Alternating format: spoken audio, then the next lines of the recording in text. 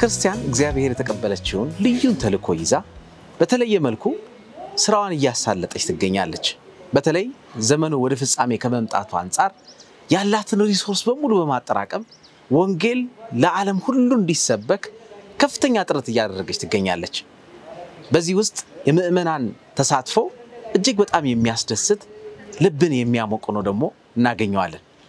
በተለይ በዚህ ዘመን አሁን ባለንበት ወቅት ቤተ ክርስቲያን ምዕመናን ከመቀመጫቸው ተነስተው ካሉበት ስፍራ ላይ ተነስተው በዚህ የወንጌል ስራ ውስጥ ተሳትፎ እንዲኖራቸው የተለያዩ ጥረቶችን እያደረገች ብዙዎች እየተሳተፉ ይገኛል። ከሰሞኑ አንድ የሚያስደንቅ ነገርን መመልከት እድል አግኝተን ነበር። ብዙዎች በመልክዓ ምድሩ አስቸጋሪነት የሚጠቅሱት በተለይ በቀደመው ጊዜ እንደ አባባልም ደግሞ ተራሮች ለስብሰባ የተሰበሰቡበት የሚባል አካባቢ በዚህ በደቡብ መካከለኛ ኢትዮጵያ ሰበካ ስር ያለው የዳውሮ ምድር ይጠቅሳሉ። በዳውሮ ምድር ወንጌል የቤተ ክርስቲያን መልእክት የገባበትና የፈነጠቀበትን ጊዜ አዋቂዎች ሲናገሩ በ1949 ዓመተ ምህረት በአንድ ሰው አማካኝነት እንደሆነ ይነገራል። ዛሬ የአካባቢ የወንጌል ብርሃን በርቶለት ከአንድ ሰው አልፈው እጅግ በርካቶች ተሰብስበው የሚታዩበትና ለብዙዎችም ብርሃን የበራበትን ታሪክ ማየት ችለናል። ታሪክ ተቀይሮ ይህ አካባቢ አሁን ከነበረበት ነገር ወጥቶ የወንጌል ስራ እየተስፋፋ እየተስፋፋ እየተስፋፋ ብዙዎች በዚህ ተሰልፈው ብርሃኑን ፈንጥቆ ይህንን የእግዚአብሔርን የእውነት ቃል ብዙዎች አግኝተው ያለበትን ሁኔታ እየተመለከትን ነው። ከዚህ የተነሳ ስራው ከመስፋቱ የተነሳ ያ አስቸጋሪ የሚባለው ስፍራ አሁን ብዙዎች ተደርሰው ብዙዎች ብርሃኑ በርቶላቸው የበለጠ ደግሞ እንደገና አሁን ካለበት በላይ ደግሞ ለማብራት እጅ ለእጅ ተያይዘው ያላቸውን ሳይሆን ከሌላቸው ላይ ተቆርሰው በሚባል ደረጃ ስራውን ለማስፋት ስራው የሚስፋፋበትን ማዕከል ደግሞ በተለየ ሁኔታ ለመገንባት ግማሾቹ በሬያቸውን፣ ዶሯቸውን፣ ፍየሎቻቸውን፣ በጎቻቸውን፣ ገንዘባቸውን፣ ጊዜያቸውን ለመሰዋት ተነስተው የመጡበትን ልዩ እንቅስቃሴ ያየንበት ነገር እጅግ በጣም ልብን የሚያሞቅ በተለይ በዳውሮ ምድር ውስጥ ገናወዞ በሚባል ስፍራ ያለውን እንቅስቃሴ የማየት እድል እግዚአብሔር ሰጥቶን ያየንበትን ነገር ያየነውን ነገር ወደ እናንተ ይዘንላችሁ ልንመጣ ወደድን። እኛ ያየነውን የተባረክንበትን እግዚአብሔር ያመሰገንበትንና የተገረምንበትን ነገር ይዘንላችሁ ወደ እናንተ መተናል። እስከ ፕሮግራማችን ፍጻሜ ድረስ አብራችሁን ዝለቁ በማለት እንጋብዛችኋለን። መልካም ቆይታ።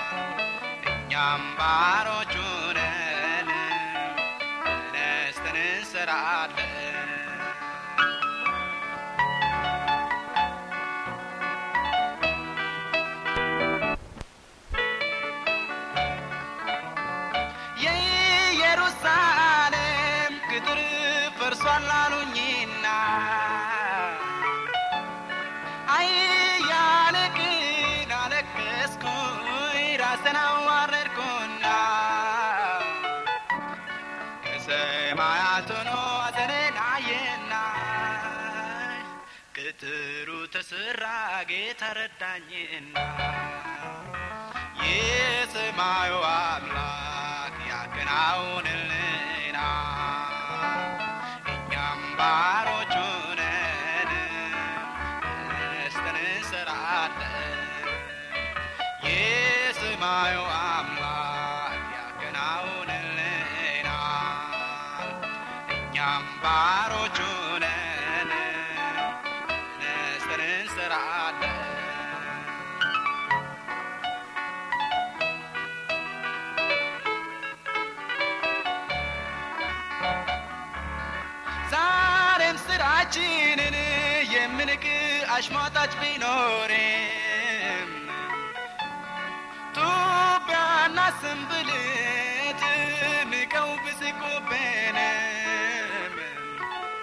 ለእኛ ግን የሰማዩ አምላክ ያከናውንልናል።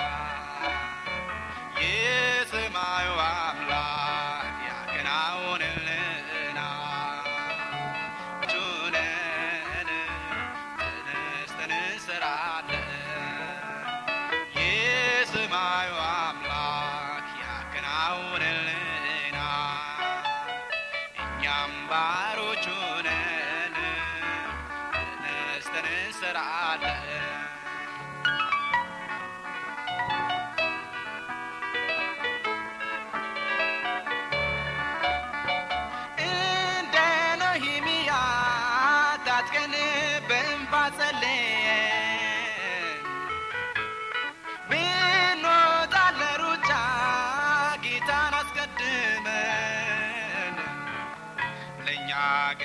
የሰማዩ አምላክ።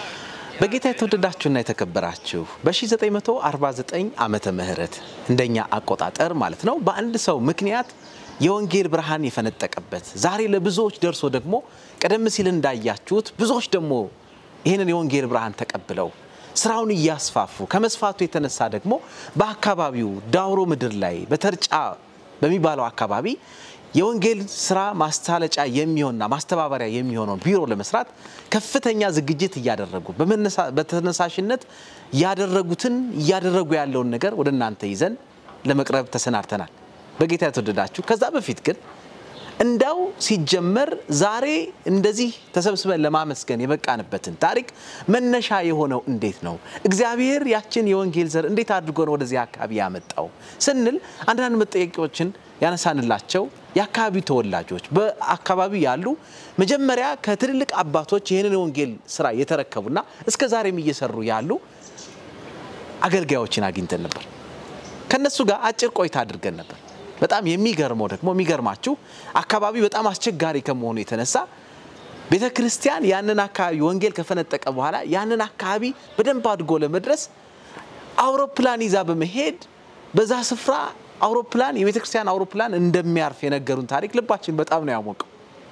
አውሮፕላን በዛ አርፋ የተለያዩ ሪፖርቶችን ያለውን እንቅስቃሴ ተመልሳ ወደ አዲስ አበባ ይዛ ትመጣ ነበር የቤተ ክርስቲያን ብለው ሲያጫውቱን ነበር። አጠቃላይ ነገሩ ግን እንዴት ጀመረ? በማን ነው የጀመረው? መቼ ነው የጀመረው ስንል ላነሳንላቸው ጥያቄ የሚገርም ምላሽ ሰጥተውናል። አብራችሁን ቆዩ። ጌታ ይባርካችሁ።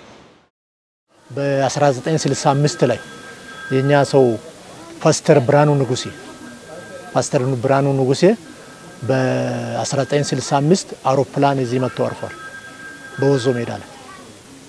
በዛ ነው የአድቨንቲስት መልእክት ለማስተላለፍ ሜዳውን እንኳን ገዝተው ትምህርት ቤትን ለመክፈት ወፍጮን እናቋቁመን ብለው ሲያመለክቱ አጋጣሚ የባለ መሬት ሰዎቹ እኛ የአባታችን መሬት አንሸጥም ብለው 65 ላይ ካሉ በኋላ 66 አብዮት ፈነዳ። 67 መሬት ላራሹ ወጣ። ከዛ በኋላ በነጻ ቀሩ በ11 ሺህ ብር። ያኔ እንግዲህ 11 ሺህ ብር ማለት ዛሬ ከአንድ ቢሊዮን በላይ ነው። የአባታችን መሬት አንሸጥም ብሎ በቃ 65 ይሄ ወዞ ሜዳ ላይ አውሮፕላን ጭምር አርፏል። የሰባተኛ ቀን አድቨንቲስት ቤተክርስቲያን ያኔ ፓስተር ብርሃኑ ንጉሴ ነው አብሮ ያኝን አውሮፕላን ይዞ የመጣው። በ1949 አካባቢ ነው ከደርግ መንግስት በፊት አንድ ማሰቦ ጨነቃ አባታችን ነበሩ። አቶ ማሰቦ ጨነቃ ይባላሉ። ወንጌላዊ ናቸው። በሳቸው አማካኝነት ከሰኬ ከወላይታ ሰኬ እዛው በአድቨንቲስት ቤተ ክርስቲያን ሲያገለግሉ ቆይተው መሬትና የአባታቸው ቦታ እዚህ ደውሮ ስለሆነ ገራዳ አካባቢ ከወላይታ ገራዳ አካባቢ ይዘው እንደገቡ ታሪኩን ከሳቸው አንድ ቤት ሰምቻለሁ። አዎ ወደዚህ የገባው በእርግጥ አቶ ማሴቦ ጨነቃ የሚባል ሰውዬ ነበረ። እሱ መጀመሪያ ወላይታ ሰኬ ላይ ነው ያለው። መጽሐፍ ቅዱስ ሲናገርን እያነበበ ከቆየ በኋላ ይሄ ሰንበት የሚባለው ነገር ቅዳሜ ይላል እሁድ አይልም ብሎ እዛ ውይይት ያቀርባል ሰኬ ላይ። ከዛ በኋላ ሰዎቹ አይ እኛን የሰንበት መጠበቅ አያድንንም ክርስቶስ ነው ስሉ አይደለም። ሕግን ሁሉ የሚጠብቅ በአንዲቱ የሚሰናከል በሁሉ በደለኛ ይላል ይኸው። ስለዚህ እኛ ታዲያ ሰንበት ቅዳሜ እያለ እሁድን አከብረን እኮ ሰማይ የለንም ብል አይ አንተ አታውቅም ስል በቃ እንዲህ ከሆነ እኔ ሰማይ እፈልጋለሁ ይልና ከወላይታ ሰኬ 1948 ላይ ይዞ ገራዳ ገቡ። ገራዳ የሚባል ቦታ ፓስተር ዮሐንስ ፎለሞ አለበት። ገራዳ ገቡ። ከዛ በኋላ ከገራዳ ገዞ የማላ የሚባል ቦታ ከገዛ የማላ ቀጥታ እዚህ ገና በፋቶ ማሴቦ ጨነቃ አማካኝነት ነው የአድቨንቲስት መልእክት የገባው።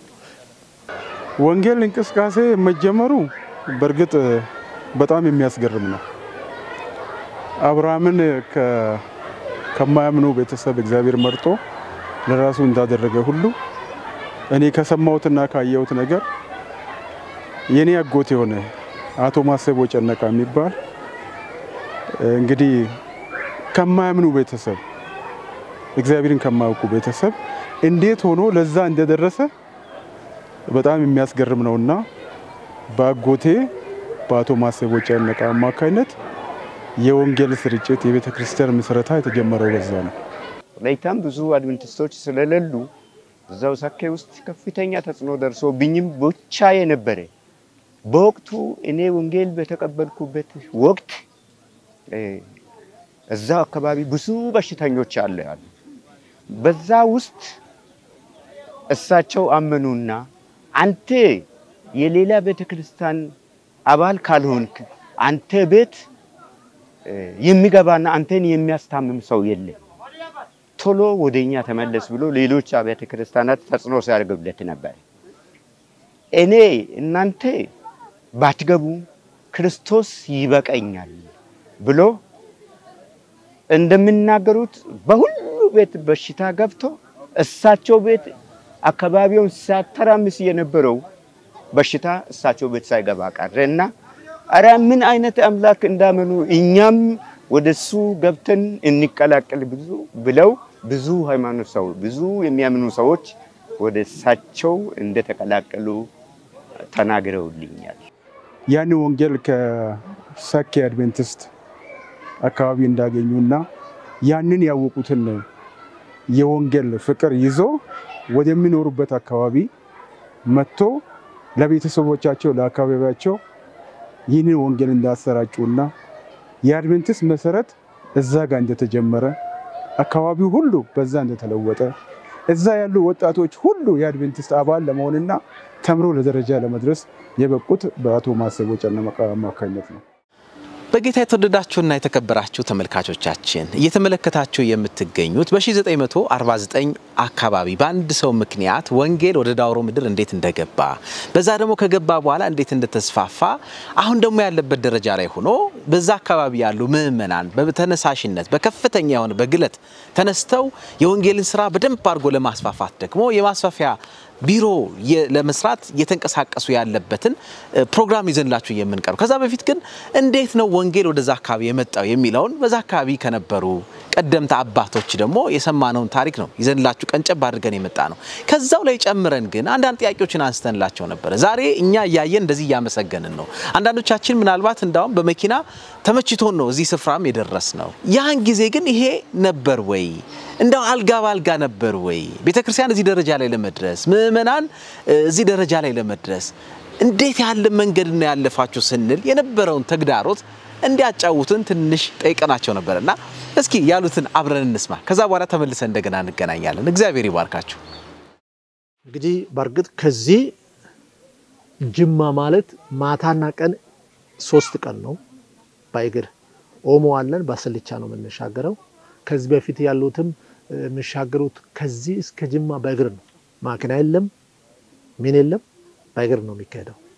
ያንም እንግዲህ ኤርፖርትን በየሶስት ወር ነው ደግሞ እንዳሁኑ አይደለም። ያኔ የሚሄደው በሶስት ወር አንድ ጊዜ ነው። የሶስት ወር ኤርፖርት ይዞ ወደ ጅማ ነው የምንሄደው። በእግር ነው እንግዲህ ሁሉንም ነገር ይዘን የምንሄደው። በስልቻ ነው እንትኑን የምንሻገረው። እንግዲህ ቂጣን ተሸክሞ እንግዲህ ይዘው ነው የሚጓዙ። በመንገድ ላይ ማኪና ማን ነው ከተማ የለም፣ ገጠር ነው። እስከ ጅማ ከተማ በመሀል ላይ ከተማ የለም። ሶስት ቀን ሙሉ ማታና ቀን ያንን ሁሉ ሲካሄድ እንግዲህ እግዚአብሔር ረድቶ ደግሞ ከዚህ በፊት ያሉ እነ አባባ ቦጋለ እነ አባባ ማሰቡ በጣም ጠንካራዎች ናቸው። በዛ ሁሉ እንግዲህ ለእኛ አሳልፈው እነሱ አሁን ካረጁ በኋላ እንግዲህ በእርግጥ ስድስት ዓመት ሆነዋል። አባባ ማሰቦ አባባ ቦጋለም አራት ነው አምስት ዓመት ሆነዋል አርፏል። ግን እግዚአብሔር ይመስገን ለእኛ አሳልፎ ሰጥቶን አሁን እኛ ደግሞ ከኛ በታች ላሉትም እያለን በደስታ ነው። አሁን መጀመሪያ ያን ጅማ ነው። ከጅማ ወደ አዲስ አበባ ማዕከለኛ ሰበካ ተዛወረን። አዲስ አበባዎቹም ማዕከለኛ ሰበካውም በጣም ይርቃል። ከአዲስ አበባ ማዕከለኛ ሰበካ እስከ ዳውሮ ሄድ ሲል እኛ ዳውሮ ደግሞ ከእናንተ ጋር እንሆናለን አሉ። በዛም ዳውሮ ህዝብ ማዕከለኛ ሰበካን ወደደና እኛንተ ካልፈለጋችሁ እኛ ከጌታ ጋር እንኖራለን እርቀትን ቢኖር አሉ። ቀስ ያለው እየጠበቁ ከዛ ደግሞ እንደገና ወደ ጅማ አሁንም በድሮ የመጀመሪያ ተዛወርን። ከዛ በኋላ እግዚአብሔር ይመስገን ከነሱ ጋር ሆነንና ከነሱ ጋር ከሆንን ጊዜ ጀምሮ በጣም እንግዶ አብራችን ከዚህ በፊት የተረበሸውም ቢሆን ተጽዕኖ የደረሰውም ቢሆን በእነዚህ ከወላይታዎች ጋር ስንሆን በጣም በደስታ እግዚአብሔር ይመስገን ወንጌልም እያሰፉ የጠየቅናቸውንም ጥያቄዎች እየመለሱ ድና አሁን ነው ያለ ነው። እኔ ዛሬ ታላቅ ደስታ ይሰመኛል። ያለንበት ቦታ ሰሜን ዳውሮ ሆኖ ወዞ ቤተ ክርስቲያን ውስጥ ነው ያለ ነው። ይሄ እንግዲህ ዳውሮ ነው። ዳውሮ ምእመኖቻችን በጣም የተበደሉ ምእመኖቻችን ናቸው። ምክንያቱም ካለው ከጂኦግራፊካል አቀማመጥ የተነሳ በጣም ይቸገራል። ከአንዱ ቤተክርስቲያን ወደ ሌላው ቤተክርስቲያን ለመሄድ በጣም ይቸገራል። በሞተር እንኳን ሲሆን 600 እስከ 1 ሺህ ብር ከፍለው ነው የሚሄዱት በአሁኑ ሰዓት ማለት ነው። ምክንያቱም ሰፊ ህዝብ ነው፣ ሰፊ ክፍል ነው እዚህ ጋር ያለው። ቶፖግራፊ በጣም ወጣ ገብ ነው። ይህንን ይዘው አንዴ ከደቡብ ኢትዮጵያ ሰበካ ጋር ነበሩ፣ ሌላ ጊዜ ሴንትራል ኢትዮጵያ ጋር ነበሩ፣ ሌላ ጊዜ ደግሞ ከጅማ ጋር ነበሩ። በቃ በጣም እዛም እዚህም ሲንገላቱ ነበረ እና ደግሞ መጨረሻ ወደ እኛ ተቀላቀሉ፣ ወደ ደቡብ መካከለኛ ሰበካ ተቀላቀሉ። የወንጌል እንቅስቃሴን በተመለከተ ገና እኔ እዛ ወንጌላዊ ሆኜ ስመደብ የቸርች አባላትም እጅግ በጣም ጥቂት ናቸው። ቤተክርስቲያንም ደግሞ እጅግ በጣም ወደ ሀያ ሀያ ሶስት አካባቢ ናቸው። እዛኔ ከአንድ ቤተክርስቲያን ወደ አንድ ቤተክርስቲያን ለመድረስም ከመንገዱ አስቸጋሪነት የተነሳ ከመሬት አቀማመጡ ችግር የተነሳ እጅግ በጣም አስቸጋሪ ነበር። አንድ ከአንድ ቦታ ወደ አንድ ቦታ ለመድረስ ኮንፈረንስ ለማድረግ ወንጌል ጥረት ለማድረግ አንድ ቦታ አድረን እንደገና ደግሞ አንድ ቦታ ነው የምንደርሰው። የሁለት ቀን መንገድ አለ፣ የአንድ ቀን መንገድ አለ። እጅግ አስቸጋሪ ስለሆነ topographical ኡ እራሱ geographical ኡ እራሱ አቀማመጡ አስቸጋሪ ስለሆነ መድረሱ እጅግ በጣም ከባድ ነው። ግን ያም ሆነ ሰዎች ጠንካራ ስለሆኑ በመንገድ አድረውም በመንገድ እየተኙም በድንጋይ ላይ እየተኙም በሰው ቤትም ደግሞ ለምነው እየተኙም አንድ ቦታ ወንጌል ጥረት ያለበት ቦታ ኮንፈረንስ ያለበት ቦታ ለመድረስ ሆ ብሎ አባላት ሁሉ ተነስተው ኮንፈረንስ ወዳለበት ቦታ ይደርሳሉ። ስራን የጌታን ስራ ለመስራት ይደራጃሉ፣ ይቀናጃሉ፣ አንድ ይሆናሉ። ስለዚህ በጣም አስቸጋሪ ሁኔታዎች ነው እዛኔ ያሳለፍ ነው። እንዲሁም ከአባቶቻችን ስንሰማ እጅግ በጣም ታሪክ ሲናገሩ እንባ በእንባ ያሰኛል። ለምንድን ነው አቅም የሌሉት ዳገት ቁልቁለት እየወጡ ያኛውን ተራራ ያኛውን ቁልቁለት ሁሉ እየወረዱ ወንጌል ስራ ሲሰሩ ነበረ። ዛሬ ለእኛ ተመቻችተውናል። ሞተር ይገባል፣ ማኪና ይገባል፣ ሙሉ ነገር ይገባል። እዛኔ ምንም በሌለበት ጊዜ ነው እኔ ገና ሲጀምርም ትንሽ ጭናጭል ቢኖርም እንደ ዛሬ አይደለም፣ እጅግ ጨለማ ነበር። ግን አሁን ብርሃን እየበራለ ነው። እግዚአብሔር ስም የተባረከ ይሁን። በምስራቃዊ ኢትዮጵያ ዩኒየን ሚሽን ስር ካሉት ዘጠኝ ሰበካዎች መካከል በደቡብ እና መካከለኛ ኢትዮጵያ ሰበካ ስር ከሚገኙት ዞኖች መካከል የዳውሮ ዞን አንዱ ነው። ቤተ ክርስቲያን በጣም በከፍተኛ ሁኔታ ያላትን አቅም ሁሉ አስተባብራ ወንጌል በዛ አካባቢ ቀደም ሲል ከነበረው የበለጠ ለመፈንጠቅ ወይም ደግሞ ስራው እንዲስፋፋ ከፍተኛ ጥረት እያደረገች ትገኛለች። በዚህ መካከል ግን የምእመናን ተሳትፎ እጅግ በጣም የሚገርምና የሚደንቅ የቤተ ክርስቲያን ስራ በዛ ስፍራ እንዲስፋፋ በሚገርም ሁኔታ ምእመናን ካላቸው ላይ ሳይሆን ያው ከሌላቸው ነገር ላይ ያው ያላቸውንም ለቤተ ክርስቲያን የሰጡበት ሁኔታ ልብን በጣም የሚያሞቅ ነው። ይህንን የስራ ማስፋፊያ ህንፃ ለመገንባት በአካባቢው ቤተ ክርስቲያን በትክክል እንድትወከል በመንግስትም በማህበረሰቡም ዘንድ እውነትም ይቺ ቤተ ክርስቲያን የተሰጣትን ተልእኮ እየተወጣች ነው የሚያስብልና ምስክር የሚሆን የማስተባበሪያ ቢሮ ለመስራት ምዕመናን በከፍተኛ ሁኔታ ርብርብ ያደረጉበት ሁኔታ ለማየት ችለናል። በጣም የሚገርምና የሚደንቅ ነው። በዛ ከነበሩት መካከል የምዕመናን ተሳትፎ እንዴት አገኛችሁት? እንዴት ተመለከታችሁት? እንዴት ገመገማችሁት ስንል ለአንዳንድ የቤተ ክርስቲያን ኃላፊዎቻችን የቤተ ክርስቲያን ኃላፊዎቻችን ጥያቄ አንስተንላቸው ነበረ። የተሰማቸውን እንደዚህ ነበር የገለጹት። አብረን እንከታተል። እግዚአብሔር ይባርካችሁ። አመሰግናለሁ። እንግዲህ ወዘላ አንተም እኔም ሄደናል እና ሰውም አልነገረንም። እኛ የአይን ምስክሮች ነው። እግዚአብሔር ለሕዝቡ የሰጠውን ሀብት ለእግዚአብሔር ስራ መልሰን በጠየቅን ጊዜ የሰሰተ ሰው የለም። የሕዝቡን ኑሮ የኑሮ ደረጃ እናውቃለን። በእርግጥ ሰው ሰርቶ ራሱን ቤተሰቡን የሚቀልብ አካባቢ ነው። ነገር ግን ከሚጠበቅ በላይ ነው። እንግዲህ ያን ቀን አይተሃል። ብዙ በሬዎች ናቸው እዛ የተሰበሰቡት፣ ወደ 16 በሬ ትልልቅ በሬዎች። እንደውም just ወይፈንም አይደለም፣ ትንንሽ ላሞችም አይደለም፣ ትልልቅ ኮርማዎች ናቸው እና በሬዎች ናቸው ለዛ ስራ። ፍየሎች አሉ፣ ዶሮዎች አሉ።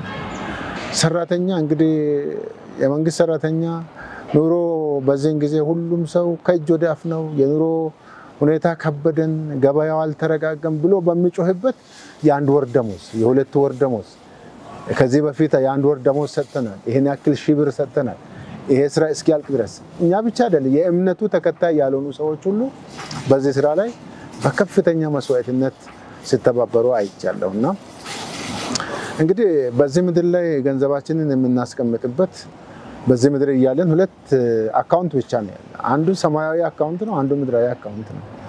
እነዚህ ሰዎች ከእግዚአብሔር የተቀበሉትን ወደ እግዚአብሔር ባንክ ያዛወሩበትን ሁኔታ ነው ያየሁት። ከዛም አልፎ ደግሞ ይሄ የገንዘብ መዋጮ ነው። ከገንዘብ መዋጮ በላይ ለወንጌል ስራ ያላቸው ፍቅር ነው ያስደነቀኝ። እኔ በጣም በቅርበት አላውቅም። በጣም ወደዚህ ቢሮ ከመጣሁ ወደ አራተኛ ዙር ይመስለኛል ወደዛ አካባቢ ሄድኩኝና እኔ በዚህን ዙር ያየሁት ነገር በጣም በጣም ነው ልቤን የነካው እና በእርግጥ እዛ አካባቢ ላሉ ነገሮች ከመረጃ ውጭ አይደለሁም። መረጃዎች እናገኛለን። ከዚህ በፊት ከቤተ ክርስቲያን ወጥቶ የነበሩ ከመቶ በላይ ወደ መቶ ሰላሳ የሚሆኑ ሰዎች የተመለሱበት ሁኔታ ነበር። ለዛ መጠን እኛ ገንዘብ ሬዝ አድርገን እዛ ጋር የሚሰሩ ሰዎችን እንትን ብለን የተባበርናቸው ሁኔታዎች ነበሩ እና በጣም የሚደንቀው የአካባቢው geographical አቀማመጡ በጣም ከባድ ነው እና እንደውም ወደዛ ተራሮች ሁሉ የተሰበሰቡበት ቦታ ነው ይባላል ሰው እና ያ ሁኔታ ሳያግድ የዝናብ ሁኔታ ነበር ሳያግዳቸው ያን ሁሉ ህዝብ ነው እዛ ቦታ የተሰበሰበው። ያው እግዚአብሔር ጊዜው ነው።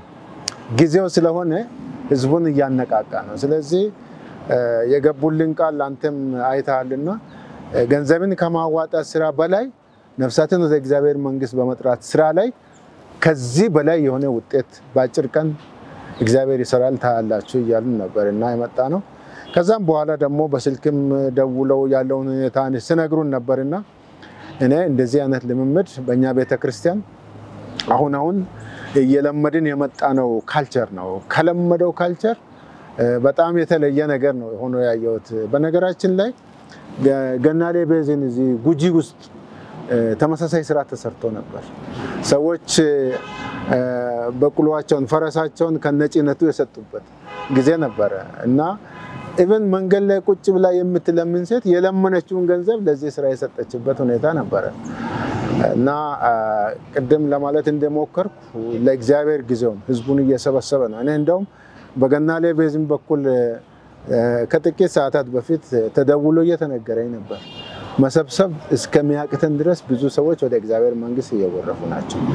እኔ ምንድን ነው የሚያሳስበኝ ይሄ በዮሐንስ ወንጌል ምዕራፍ አስር ላይ ከዚህ በረት ያልሆኑ ብዙ በጎች አሉ፣ እነሱን ሊጠራቸው ይገባኛል አለ።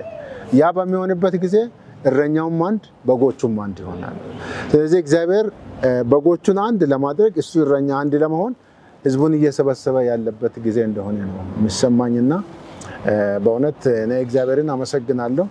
የእግዚአብሔር መንፈስ በህዝቡ መካከል እየተንቀሳቀሰ ነው። ትልቅ ስራዎች እየተሰሩ ናቸው እና በተለይ ዳውሮ አካባቢ ላይ ምናልባት በጣም ሪሞት አካባቢ ነው እና ራቅ ይላል ከከተሞች ወጣ ያለ አካባቢ በመሆኑ ብዙ ጊዜ መሪዎች የመሄድ እድል የላቸውም ከኪሎ ሜትር ርቀት የተነሳ ነገር ግን አሁን አሁን ያለው ነገር ወደዛ ለመሄድ የሚያጓጓ ብዙ ነገር ነው እዛ ጋር ያየ እና እግዚአብሔርን በጣም አመሰግናለሁ ስለዛ ህዝብ። የእግዚአብሔር ስራ በጣም ይስፋፋል የሚል እምነት ነበረ። ያንን እምነት ወደ ተግባር ለመቀየር በተደረገው ስብሰባ ላይ በጣም ነው ደስ ከመጠን በላይ ደስ ብሎኛል። አንደኛ የህዝቡ ሁኔታ እንተያያው ነው ያላቸውን አምጥተዋል። አሁንም ደግሞ ሊያመጡ በጣም ጉጉት አላቸው። ብር ሰብስበዋል። የመንግስት ሰራተኛ የወር ደሞዝ፣ ገበሬው በሬዎቹን ከእርሻው የሚገኘው ምርት፣ የመንግስት ሰራተኛ፣ የወንጌል ሰራተኛ በሙሉ የራሱን ልባዊ ምሻቱን የገለጠበት ቀን ስለሆነ በጣም ደስ ብሎኛል። እግዚአብሔር ይመስገን። እጅግ በጣም ደስ ይላል። በተለይ ትናንትና የማስተባበሪያ የወንጌል ማስተባበሪያ ቢሮ ለመስራት ከደጋ ከቆላ ከታች ከላይ ከአራቱም አቅጣጫ የእግዚአብሔር ሰዎች ሲነሳሱ እጅግ በጣም ልብ በመወቀ ሁኔታ በደስታ ሲሞላ ነበር። ለምንድን ነው ለካ የዳውሮ ሰዎችም እንደዚህ ለወንጌል ስራ ይነሳሳሉ ወይ? ትላንትና ከሰማይ መልአክ እንደወረደ ይመስለኛል። ለምንድን ነው ያላሰብነው የገመትነው ነገር ሲደረግ ነበር። እኛ በጭራሽ ለኔ የመጀመሪያ ጊዜ ነው ትላንትና ሰዎች የሆኑት ታሪክ። ለምንድን ነው የአንድ ቀን ጉዞ የሁለት ቀን ጉዞ ተጉዞ በሬያቸውን ይዞ ፍየላቸውን ይዞ ዶሮዋቸውን ይዞ ያለው ነገር ሁሉ ይዞ ለወንጌል ማስፋፊያ ቢሮ ለመስራት ከጫፍ እስከ ጫፍ ስነሳሱ እንደ ንብ ስነሳሱ እጅግ በጣም ደስ ይለኛል። ለምንድን ነው ይህ እንደዚህ የሚደረገው?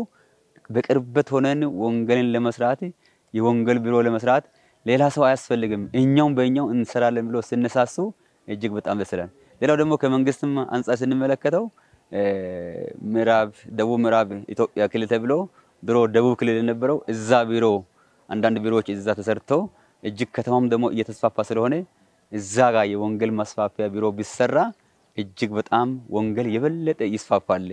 የመንግስት ቢሮም ዞን አስተዳደር ቢሮም ሄደን ሄዶ ተወካዮች ሲጠይቁ ነበር። የከተማ ከንቲባ ቢሮም ሄደው ሲጠይቁ ነበር። እኛም እንሰራለን ቢሮ እኛም እናዋጣለን፣ ድርሻችን እናዋጣለን፣ መሬትም ደግሞ ካስፈለገ ለእናንተ በነፃ እንሰጣለን ብሎ ቃል የገቡበትም ሁኔታ አለ። እጅግ በጣም ደስ የሚለው ደግሞ ይሄ ነው። እኛ መሬት በነፃ እንሰጣለን፣ የድርሻችን ደግሞ ገንዘባችን ደግሞ እናዋጣለን ለዚህ ቢሮ እባካችሁ ስሩ፣ ይሄ ታሪክ ነው፣ ተአምር ነው ብሎ በጣም ቃል ገብቶልናል ከመንግስት አካላትም ለኛ። ገና ወዞ በተባለው የሰባተኛ ቀን አድቬንቲስት ቤተክርስቲያን ላይ በተሰናዳው ልዩ መርሃ ግብር በተለየ መልኩ የወንጌል ስራ ማስፋፊያ የሚሆነውን ህንፃ ለመገንባት ሁሉም ያቅሙን ተሳትፎ የሚያደርግበት እንቅስቃሴን በተመለከተ ልዩ መሰናዶ ነው ወደ እናንተ እያደረሰን ያለን። በጌታ የተወደዳችሁ እግዚአብሔር የተመሰገነ ይሁን። ምዕመናን በከፍተኛ ተነሳሽነት ይህንን ስራ ለመደገፍ የወንጌልን ብርሃን ከስከዛሬው የበለጠ ደግሞ በደንብ አድርጎ ለማብራት ያላቸውን ሁሉ ብቻም ሳይሆን ደግሞ ከሌላቸው እየተቆረሱ የሰጡበትን ሁኔታ አይተን ነበርና በዛ ስፍራ ያለውን እንቅስቃሴ በተለየ መልኩ ደግሞ ህዝቡ ጋራ በመሆን ይህንን እንቅስቃሴ በመደገፍና አይዟችሁ ለማለት ጌታ ይባርካችሁ ለማለት እንደገናም ደግሞ ልቦችን ደግሞ ለማነሳሳትና ለስራው እንዲነሱ ለማድረግ የምስራቅ ኢትዮጵያ ዩኒየን ሚሽን የስራ መሪ የሆኑት ፓስተር ታደሰ አዱኛ እንደዚሁም ደግሞ ዋና ጸሐፊውን ፓስተር ነጋሽ ጴጥሮስ እንደዚሁ ተገኝተው ነበር። ከዛም አልፎ ደግሞ በደቡብና በደቡብ መካከለኛ ኢትዮጵያ ሰበካ መሪዎች የሆኑት ፓስተር ዳዊት ጉዲኖ እንደዚሁም ደግሞ ዋና ጸሐፊ የሆኑት ፓስተር ተካልኝ ሌሎቹም department ኦች በዛ ነበሩና በጣም ልብን የሚያሞቅና ደስ የሚያሰኝ የሚያነቃቃ ንግግርን ሲያደርጉ ነበርና ከሱ ላይ እስቲ ምን እንዳሉ አብረን ሰምተን እንድንመለስ ልጋብዛችሁ ፈልጋለሁና እግዚአብሔር ይባርካችሁ። እስከ መጨረሻው ድረስ አብራችሁን ቆዩ። ትባረካላችሁ። ጌታ ኢየሱስ ክርስቶስ ይባርካችሁ። አብረን ተከታትለን ሰምተን እንመለሳለን። ለእግዚአብሔር የሚታመኑና የሚሰጡ ሰዎች ግን ለሽ ብለው ይተኛሉ። ያኔ ጤናቸው ይጠበቃል፣ እድሜ- እድሜያቸው ይጨምራል። እግዚአብሔር ይባርካችሁ። እንደ ሰለሞን ስትሰጡ እግዚአብሔር ምን ይላል? ምን እንድትሰጣችሁ ትፈልጋላችሁ ይላቸዋል። የእግዚአብሔር አጀንዳ እግዚአብሔር አጀንዳችሁን ሲያስቀይራችሁ ኢየሱስ ለደህንነት የእነ ማርያም እና ዮሴፍን አጀንዳ እንደተቀየረ ለሰዎች ደህንነት የእናንተ አጀንዳ ይቀየራል። እግዚአብሔር እንደዚህ ይላል፣ ይሄ ሁሉ ሲሆን ልባችሁ አይታወቅ። በእግዚአብሔር እመኑ፣ በእኔም ደግሞ እመኑ። በአባቴ ቤት ብዙ መኖሪያ አለ። እንዲህ ባይሆን ባልኋችሁ ነበር። ስፍራ አዘጋጅላችሁ ዘንድ እሄዳለሁ። ሄጄም ስፍራ ባዘጋጀሁላችሁ ጊዜ እኔ ባለሁበት እናንተም እንድትሆኑ ሁለተኛ መጣ ወዳለሁበት ይወስዳል። ሁል ጊዜ ከኔ ጋር ትሆናል። እግዚአብሔር ይመስገን።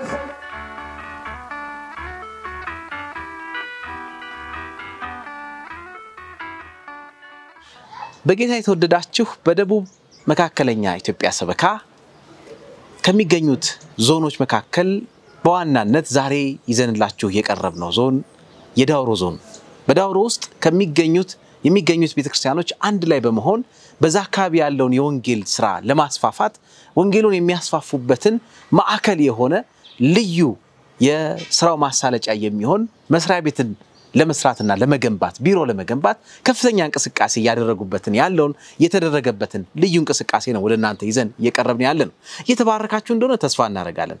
በስፍራው ተገኝተን በአይናችን ካየነውና በጣም ከገረመን ነገር መካከል በተለየ ሁኔታ ይህንን እንቅስቃሴ ሲጀምሩ በአካባቢው ያሉ ጠንካራ የሆኑ የቤተ ክርስቲያን ምዕመናን እርስ በርስ አንድ ላይ በመሆን በመደራጀት ኮሚቴ በማዋቀር በተለየ ሁኔታ እቅድ በመንደፍና በማውጣት ልዩ የሆነ እንቅስቃሴ ያደረጉበትን ሁኔታ ካቀረቡት ሪፖርት ላይ ተመልክተን ነበር።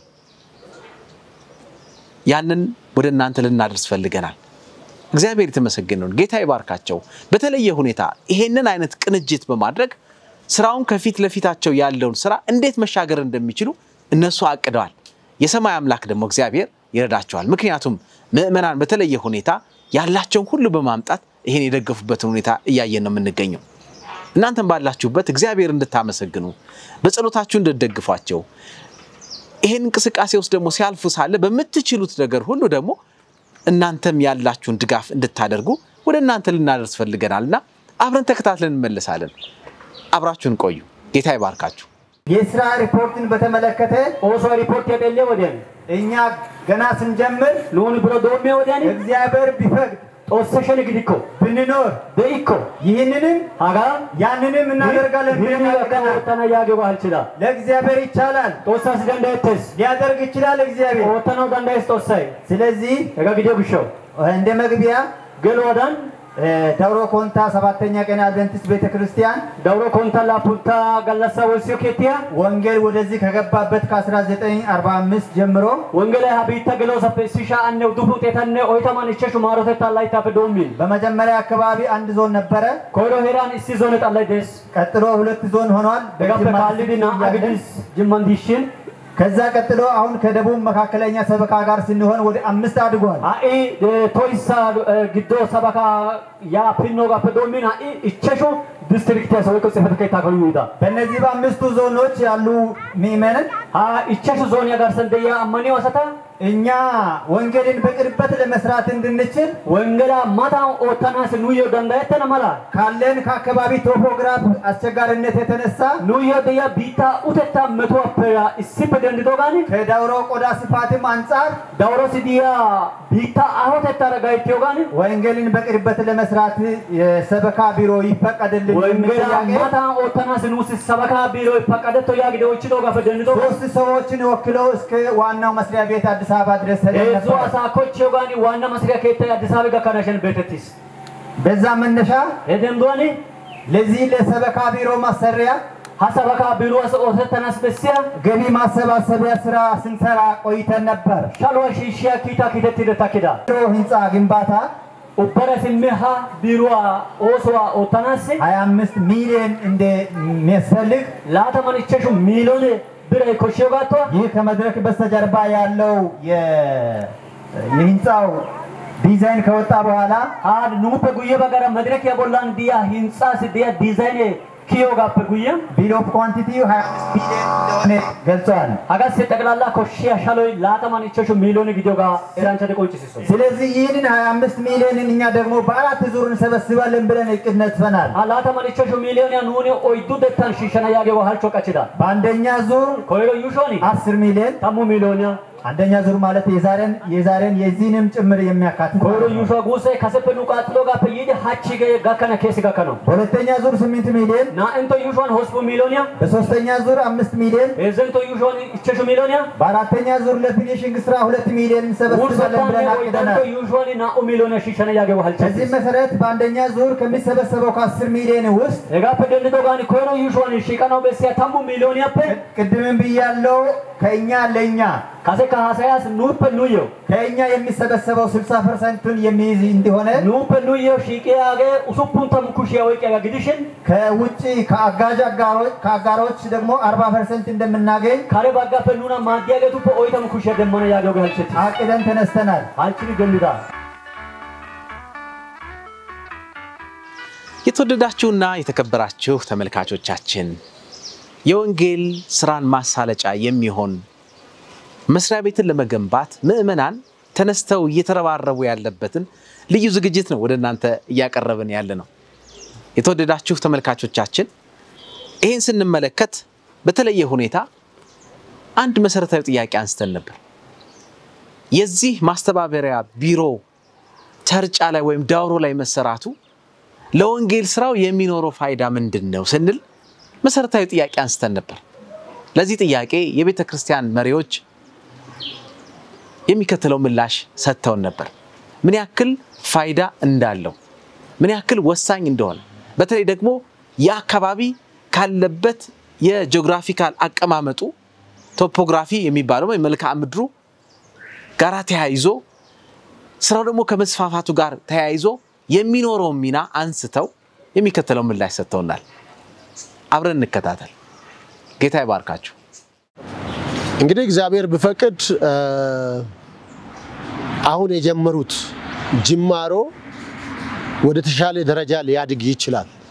ምክንያቱም ዳውሮ ከኛ ከአዲስ አበባ በጣም በከፍተኛ ርቀት ላይ ነው ያለው። ኦሞ ተሻግረን ነው የምንሄደው። ምናልባት ወደ 600 ኪሎ ሜትር ይጠጋል። በዚህ ወላይታ ሶዶ በምንሄድበት ጊዜ እና እዛ አካባቢ ወንጌል የማስተባበሪያ ቢሮ ለመስራት መነሳሳታቸው መልካም ነው።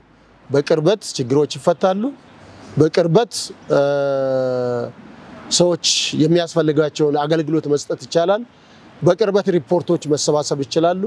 ህዝቡን ደግሞ የስራውን ኃይል ማደራጀት ደግሞ ስራው የበለጠ እንዲጠናከር ያደርጋል። በየቦታ የስራ ኃይል ማደራጀት ተገቢ ነው። ወጣቶችን፣ ህጻናትን፣ ሴቶችን፣ ወንዶችን ማዘጋጀት የወንጌል ማስተባበሪያ ቢሮዎችንም ደግሞ የወንጌል ስርጭት ማስተባበሪያ ቢሮዎችንም ደግሞ ማደራጀት እና ማቀናጀት ስራውን የበለጠ የጎላ ያደርገዋል ማለት ነው። ለዚህ ነው ይሄ የህዝብ ተነሳሽነትንም ደግሞ ይፈጥራል እና ስራው በፍጥነት ወደፊት እንዲራመድና በእኛ ሀገር ውስጥ ያልደረስናቸውን የተለያዩ ብሔር ብሔረሰቦችን ኢትዮጵያ ውስጥ ወደ 86 የሚጠጉ ብሔር ብሔረሰቦች አሉ፣ ቋንቋዎች አሉ። እነዚህም በሙሉ በሶስቱ መላእክት መልእክት መድረስ አለብን። ስለዚህ ከርቀት የሚሰሩ ስራዎች ውጤታማ አይደሉም፣ cost effective ም አይደለም። በቅርበት በሚሆንበት ጊዜ ብዙ ውጤታማ ነገር ይኖረዋል፣ በአካባቢያቸውን ይደርሳሉ። ይህንን እንግዲህ ከሁሉም በላይ impact 25ን በ2025 ድረስ ከፍተኛ የሆነ ነፍሳትን ለመድረስን እና ለክርስቶስ ዳግም ምጽአት ለማዘጋጀት በሚደረገው ጥረት ይሄ ታክሎበት ከፍተኛ የሆነ መነቃቃትን ፈጥሯል። አመሰግናለሁ። እንግዲህ እኔ የደቡብ ሰበካ ተብሎ አንድ ላይ በነበረ ጊዜ እዛ ጋር ሰርቻለሁ። ሐዋሳ የማዕከል ቢሮ ነበረን እና ያ ማዕከል ያ ማዕከል አሁን ብዙ ሰበካዎች ተፈጥሯል። South ሸዋ፣ South ግሪን፣ South መካከል፣ Central፣ ገናሌ ቤዝን፣ ደቡብ ራሱ፣ South East የሚባሉ ወደ ስድስት ሰበካዎች ናቸው የተቋቋሙት እና ያን ጊዜ እኛ ደቡብ ተብሎ አንድ ላይ በነበረ ጊዜ ከዚህ ከዝዋይ ተነስቶ ወደ ሞየሌ ጠረፍ ሄዶ በዚህ ደግሞ ኦሞ ወንዝ ድረስ ከዛ ደግሞ ኬንያ ጠረፍ በጣም ማይቻል ከቁጥጥር ውጭ የሆነ አካባቢ ነበረ። በዚያን ጊዜ የነበረው ስራ በጣም ከባድ ነው። በሁሉም አቅጣጫ ማለት ነው። ነፍሳትን ወደ ቤተ ክርስቲያን በመጥራት የልማት ስራዎችን በማስተባበር ዙሪያ ላይ አንድ ቢሮ ከአዋሳ ተነስቶ አሁን ወደ ምልህ ደቡብ ኦሞ ድረስ ወደዚህ ወደ ሞየሌ ጠረፍ ድረስ በዚህ በባሌ ወደ ሱማሌ ጠረፍ ድረስ የሚሄዱበት ሁኔታዎች ነበሩ። ውጤታማ አልነበር ነው። እንደውም ያን ጊዜ ደሞዝ ለመክፈል እንኳን እንቸገር ነበር። አሁን እግዚአብሔር ይመስገን እነዚህ ቦታዎች የአስተዳደር ቢሮዎች ለህዝቡ በቀረቡ መጠን የወንጌል ስራው በጣም ተስፋፍቷል። የልማት ስራዎች እየተሰሩ ናቸው። even ያን ጊዜ አስታውሳለሁ አንዲት ብቻ ሰባራ መኪና ነበረችን። አንድ ቦታ የደመጠን ወደ ጋራጅ ነበር ምንልካት። አሁን ግን እነዚህ የጠቀስኩ ወደ ስድስት ሰበካዎች ብዙ መኪናዎች አሏቸው። even ለቢሮ ሁለት መኪና፣ ሌሎች service መኪናዎች ሳይቀሩ አሁን ከአስር በላይ መኪናዎች አሉ። እንደው ዝም ብለን ስናየው ማለት ነው። ቢሮዎቹ ደግሞ በጣም ስታንዳርድ ናቸው። እሱም ብቻ አይደለም። እነዚህን አካባቢዎች በቅርበት በቅርበት ለመድረስ ያ ቢሮ ስለሚያስተባብር ከፍተኛ የሆነ ለውጥ ነው እየመጣ ያለው። ትምህርት ቤቶቻችን አድገዋል። የሰራተኛ ቁጥር ጨምሯል። የምእመን ቁጥር ጨምሯል። የቤተ ክርስቲያናት ቁጥር ጨምሯል። አዳዲስ አካባቢዎች የማሄድ ነገር በጣም ጨምሯል። ህዝቡ ተነሳሽነት ተሰምቶታል፣ የኔነት ተሰምቶታል እና ምናልባት ይሄ አካባቢ ወደፊት ጊዜው አይታወቅም እንደዚህ አይነት እንዳልኩኝ ከሌሎች የማዕከል ቢሮዎች በጣም ራቅ ይላል፣ ኪሎ ሜትሩ ይርቃል እና ወደዚህ ወደ ኮንታ መተን ብዙ እነዚህ ታሪካዊ ቦታዎች፣ ፓርኮች ወዳሉባቸው አካባቢዎች ላይ ብዙ ሰዎች ይሄዳሉ እና ያልተደረሰ አካባቢ ነው። ያልተደረሰ ምንም ማንም ሰው ሊደርስ የማይችልበት ቦታ ነው። ምክንያቱም አሁን ያለው ደቡብ መካከለኛ ሰበካ ደግሞ ጂኦግራፊው በጣም ሰፊ ነው። ደቡብ ኦሞ ሙሉ እነ ደራሸን በምታይበት ጊዜ ምንም ስለ አድቨንቲስት መልእክት ማንም ሰው ያልሰማበት። ስለዚህ እነሱ ያን አካባቢ ሄደው አቅደው መስራት ለነሱ በጣም ከባድ ነው ስል ከህዝብን ብዛት ከመሬት አቀማመጡን ብዛት ከኪሎ ሜትር ርዝመትም አኳያ እነዚህን አካባቢዎች ቶሎ ቶሎ ደርሶ የህዝቡን ፍላጎት ማሟላት በጣም ከባድ ነው። ስለዚህ ቤተክርስቲያኗ አስተዳደርን ወደ ምእመን በምታቀርብበት ጊዜ እዛ አካባቢ ያሉትን ሰዎች mobilize በማድረግ በማነሳሳት በማስተባበር ያልተደረሱ ቦታዎችን ደግሞ በማጥናት ለነዚያ ቶሎ ቶሎ ምላሽ በመስጠት የወንጌል ስራ በዚሁ መልክ ነው ሊያልቅ የሚችለው እና እንግዲህ እኛ ጊዜውን አናቅም። ወንጌልን ማስፋፋት ስላለብን አካባቢዎችን መድረስ ስላለብን ወደየኮርቻ ሁሉ የእግዚአብሔር ወደየ ስርቻ ወደየ ድንበር ሁሉ የእግዚአብሔር ቃል ማሄድ ስላለበት እነዚህን ሰው ቦታዎች የሚያስተባብሩ ሰዎችን ቢሮዎችን ለህዝቡ ማቅረብ ግዴታችን ስለሆነ ነው። ግን ያም ማድረጋችን ለወንጌል ስራ መስፋፋት ከፍተኛ የሆነ አስተዋጽኦ አለው። ይሄ ትልቅ ጥቅም አለው፣ የጎላ ጥቅም አለው። ምክንያቱም ስንት አንተ እንደሚታውቀው የደቡብ ሰበካ አንድ ብቻ ነበረች ከጫፍ እስከ ጫፍ ድረስ። ያችን አንድ የነበረችውን ሰበካ ለማከፋፈል ጦርነት ነበር። አንወጣም የሚል ነበረ፣ ይውጡ የሚል ነበር። ትልቅ ውጊያ ነበር። አንዷ ሰበካ የሆነችው አርሲ ወጣ። አሁንም ምንም አልተጎዳም። ከዛ ደግሞ ደቡብ መካከለኛ ሰበካ ወጣ። ምንም አልተጎዳን። ከዋናው ሰበካ ከደቡብ ማለት ነው። ከዛ ደግሞ አሁን ቦሬ ቦሬ ወጣ ማለት ጉጂ አሁን ገናሌ Basin የሚባለው ወጣ። አሁንም ምንም አልሆነም። እኛ እዚህ ወጣን። ደቡብ መካከለኛ ሰበካ ከወጣን በኋላ ደግሞ South ሸዋ ወጣ፣ South Green ወጣ።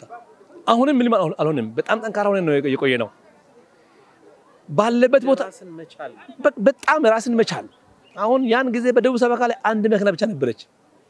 ያ ደቡብ ሰበካ አሁን ሶስት መኪና አለው። እኛ አንድ አለን። Green ሰበካ መኪና አለው። South ሸዋ መኪና አለው። እንግዲህ በአንድ መኪና በመኪና እንኳን ብንሄድ ሁሉም መኪና አለ። ሁሉም ራሱን ችሎ ነው የሚኖረው። ለደሞዝ ምንም አይበቅ። አሁን መቶ percent ሁላችንም ደርሰናል እና ደግሞ አሁን ይሄ ሲወጣ በመንግስት ዘንድም ትልቅ ተቀባይነት አለ። ምክንያቱም ሰበካው በኖረ ባለ መጠን ከመንግስት ጋር ያለው ግንኙነት በጣም የጠነከረ ይሆናል። አሁን ትናንትና ከመንግስት ቢሮዎች ጋር ስንናገር ነበር። ቦታ ስጡን ብለን ጠይቀናቸዋል። ለዚህ ሰበካ እኛንን የምንሰጠው አሉ። ምክንያቱም በዳውሮ ላይ ራሱን የቻለ ሰበካ ቢሮ መስጠት ለኛ ትልቅ የጎላ ሚና አለው፣ ጥቅም አለው ብሎ መንግስት ራሱ ወደኛ ነው አይኑን ተክሎ የሚያየን። ምክንያቱም ትምህርት ቤቶች አሉ፣ ይጠናከራሉ። ሌሎችም ስራዎች የልማት ስራዎች አሉ፣ ይጠናከራሉ። ይሄንን መንግስትም ከኛ ይጠብቃል። ምክንያቱም ታርጫ ያለው ትምህርት ቤት በጣም ጠንካራ ነው። በዞን ደረጃ አንደኛ ትምህርት ቤት ነው።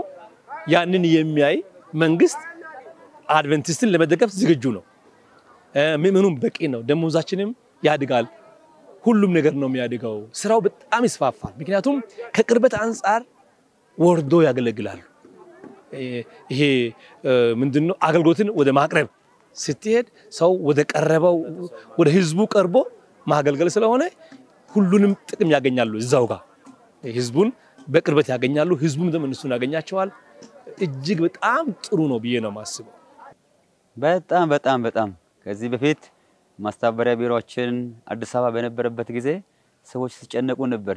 ወላይታ መተን አድረን እንደገና ደግሞ ቡታጅራ የምናድርበት አለ። ስንመለስ ደግሞ እንደዛው ደግሞ አድረን ወዲያና ወዲህ በጣም በመንገድ ስንጨነቅ ነበር። የማስተባበሪያ ቢሮ እዛ ቢሰራ ወደዚህ እየመጣን የምናወጣው transportation ሁሉ ይቀራል። በመንገድ ደግሞ የምንንከራተው መንከራተት ሁሉ ይቀራል።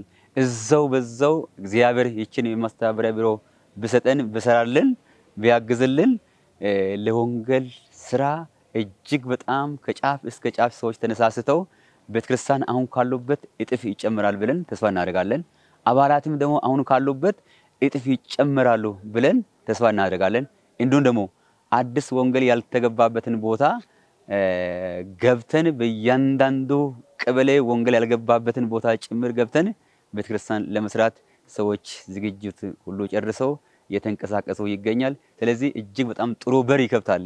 እንደዛ ቤተክርስቲያን የወንጌል ማሰራጫ ቢሮ እዛ ቢከፈት ጥሩ አዝማሚያ አለን። ወንጌል የበለጠ ያድጋል፣ ይስፋፋል። ገና ወዞ ሰባተኛ ቀን አድቬንቲስት ቤተ ክርስቲያን ላይ የተደረገውን ይሄንን ከፍተኛ የሆነ የገንዘብ ማሰባሰብ እንደዚሁም ደግሞ ምዕመናን የማነሳሳት ስራ ወደ እናንተ ይዘን የቀረብንበትን ልዩ መሰናዶን እየተከታተላችሁ የምትገኙ ተመልካቾቻችን ምዕመናን ያላቸውን ሁሉ ወደ እግዚአብሔር ቤት ያመጡበት ለእግዚአብሔር ስራ መስሪያ ይሆን ዘንድ ያበረከቱበት በሬዎቻቸውን፣ ፍየሎቻቸውን፣ ከብቶቻቸውን፣ ገንዘባቸውንና ጊዜያቸውን ሁሉ የሰዉበትን እየሰዉ ያሉበትን ልዩ እንቅስቃሴ ነው ወደ እናንተ ይዘን የቀረብ ነው።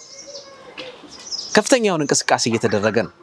በዚህ መካከል ታዲያ የቤተ ክርስቲያን መሪዎችን አንድ ጥያቄ አነሳንላቸው። የምታስተላልፉት መልእክት ምንድን ነው? ይህንን መሰናዶ በተለያየ ስፍራ ላይ ሆነው የሚመለከቱ እጅግ በርካቶች አሉና የምታስተላልፉት መልእክት ካለ ብለን ጠይቀናቸው ነበር። የቤተ ክርስቲያን መሪ የሆኑት አገልጋይ ባሪያዎች ደግሞ የሚከተለው ምላሽ ሰጥተዋል።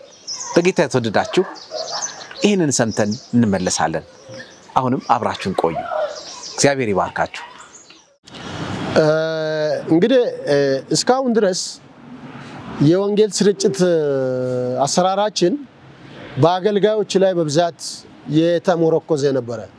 ይሄ ነው የወንጌላዊውን ስራ በሚገባ ለሰዎች እንዲዳረስ ያልተደረገበት።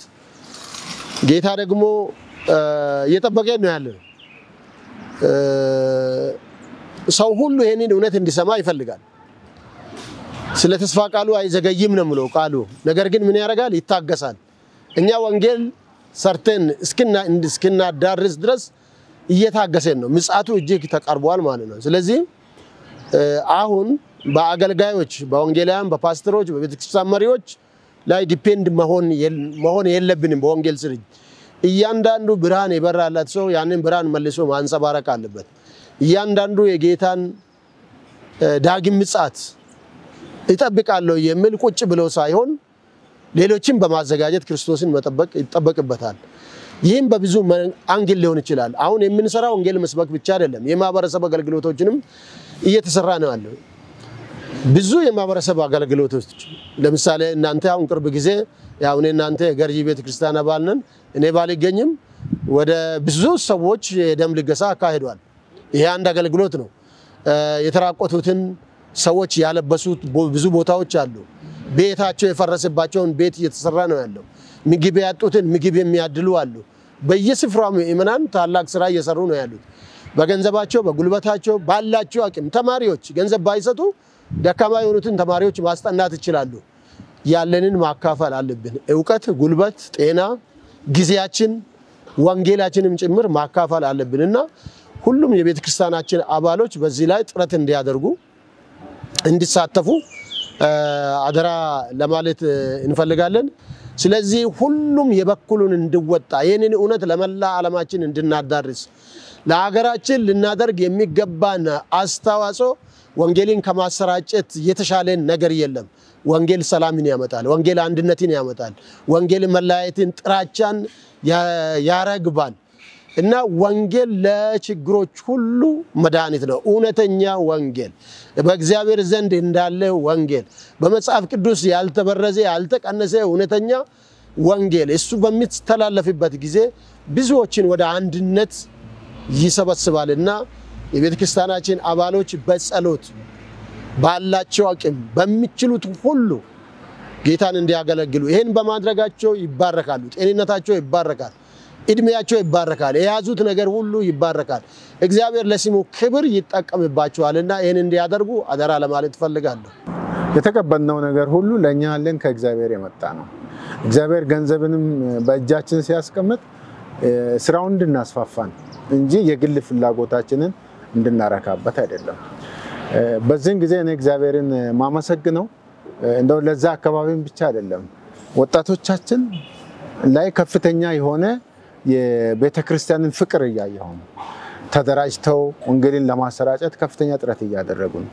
ከኪሳቸው ገንዘብ እያዋጡ በሙያቸው የሚደግፉን ኢንጂነሮች አሉ፣ መምህራን አሉ፣ የጤና ባለሙያዎች እንደውም አሁን community ውን ምንድነው ይሄ community service የምንለው የማህበረሰብ አገልግሎት የሚለውን አገልግሎት በምናካሄድበት ጊዜ የጤና ባለሙያዎቻችን ተደራጅተው የነፃ ሕክምና እየሰጡ ነው። even ብዙ ጊዜ በሆድ በሽታ ይሰቃይ የነበረው ልጅ በደቡብ መካከለኛ ሰበካ ነፃ የቀዶ ሕክምና ተደርጎለት አሁን ጥሩ- በጥሩ ጤንነት ላይ ይገኛል። ስፔሻሊስቶቻችን ከፍተኛ የሆነ ተነሳሽነት እያሳዩ ነው። እኔ እግዚአብሔርን አመሰግናለሁ። እንግዲህ የእግዚአብሔር ስራ የሚሰራው መላእክት በሰማይ መጥተው አይደለም፣ በእኛ ነው፣ በሰዎች ነው። ሰዎች ደግሞ ገንዘባቸውን ሲሰጡ፣ እውቀታቸውን ሲሰጡ፣ ጉልበታቸውን ሲሰጡ፣ ጊዜያቸውን ሲሰጡ ነው የእግዚአብሔር ስራ የሚስፋፋው። ስለዚህ ከእግዚአብሔር መቀበላችንን የምናምን ሁላችን ለእግዚአብሔር ስራ መልሰን የመስጠት የፍቅር ግዴታ አለብን እና ቅድም ብያለሁ፣ ገንዘባችንን በሁለት ባንክ ብቻ ነው የምናስቀምጠው። በሰማይ በምድራዊ ባንክ የምናስቀምጣቸው ገንዘቦች ሁሉ በዚህ ምድር ላይ የሚቀሩ ናቸው።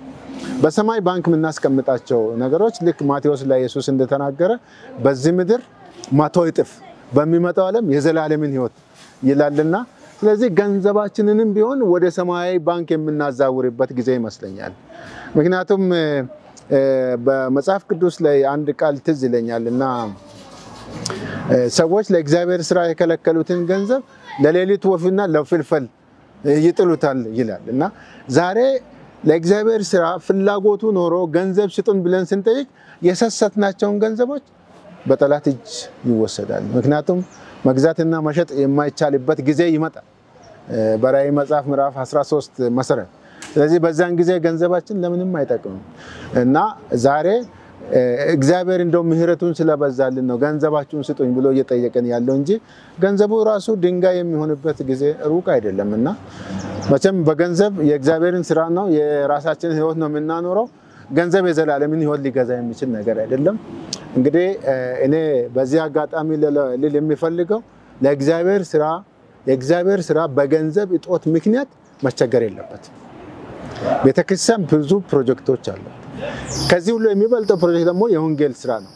ስለዚህ የወንጌል ስራ በገንዘብ እጦት ምክንያት መቸገር የለበትም።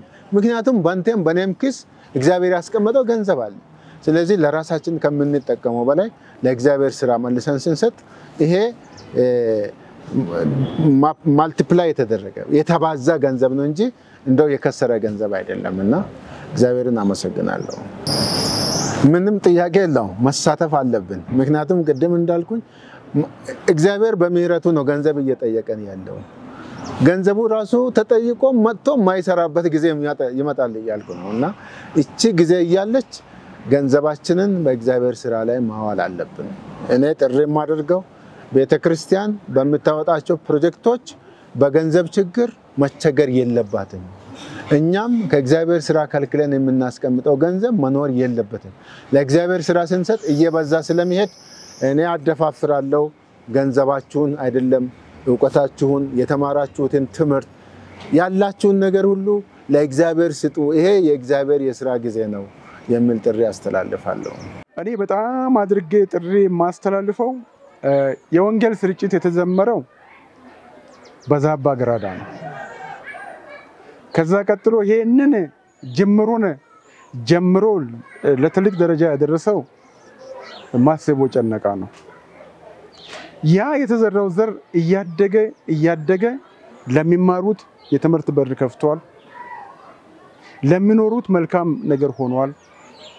እግዚአብሔር ደግሞ በሰዓቱና በጊዜው ፈቅዶና ወዶ መልካም ነገር እያደረገ ስላለ ትናንት ከእስራት የተፈታ ሰው ወንጌልን ያገኘ ሰው እግዚአብሔርን በሚገባ ማምለክ፣ መከተል፣ ለስራው መነሳት ከዛ የወጣን ሁላችንን ደግሞ ካለንበት ቦታ ከዛ ጨለማ ላወጣን ለእግዚአብሔር የሚቻለውን ሁሉ ማድረግ እንዳለብን ለማሳሰብ እፈልጋለሁ።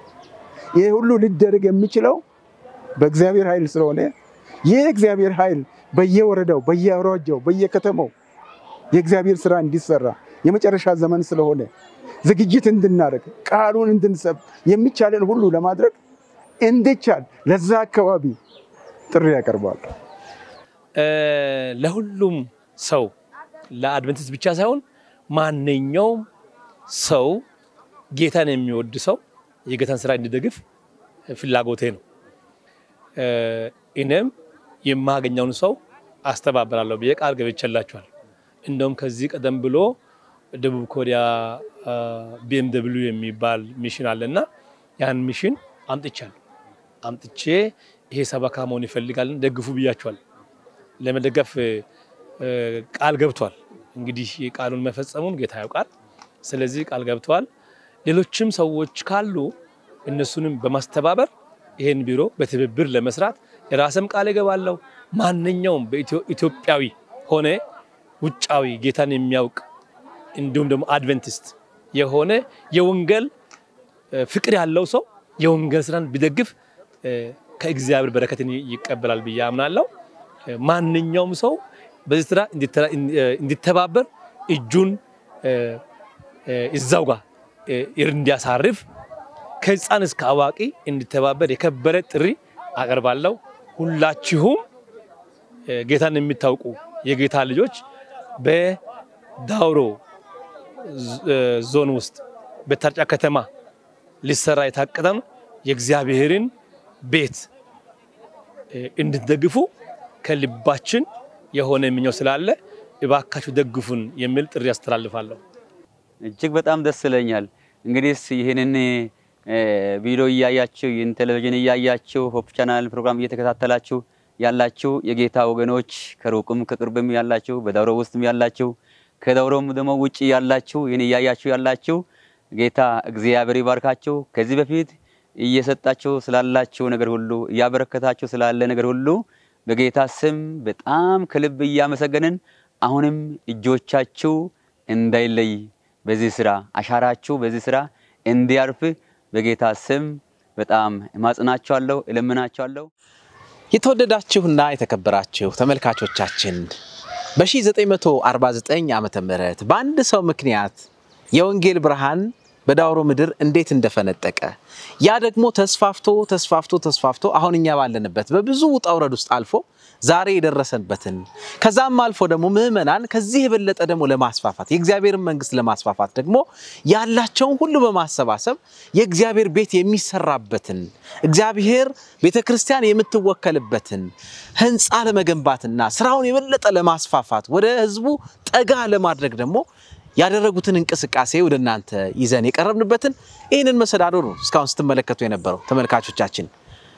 እግዚአብሔርን በተለየ ሁኔታ እንድናመሰግን የሚያደርግ ባለንበት ቦታ ሁለን ሁላችንም በምስጋና አንደበቶቻችን እንድንከፍት የሚያደርግ ልዩ እንቅስቃሴ ነው ስንመለከት የነበረው።